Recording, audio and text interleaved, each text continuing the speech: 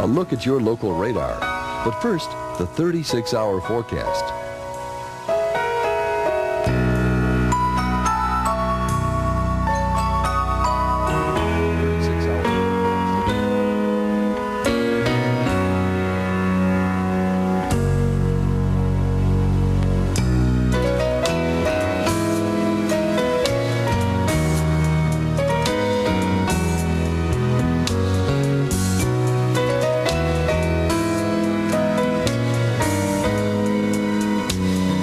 Regional forecast.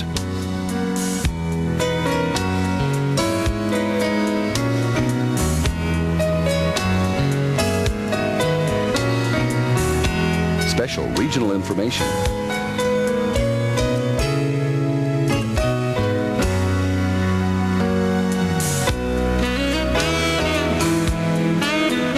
The forecast for cities nationwide.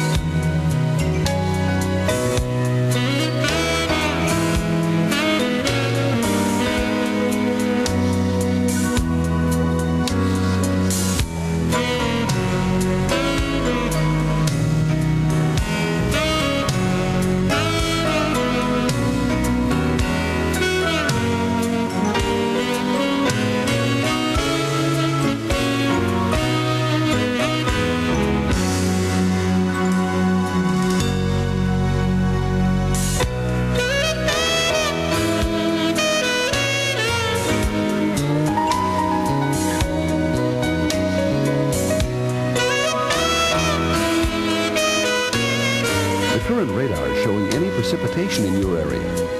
The intensity is indicated by the color code at the top of the screen.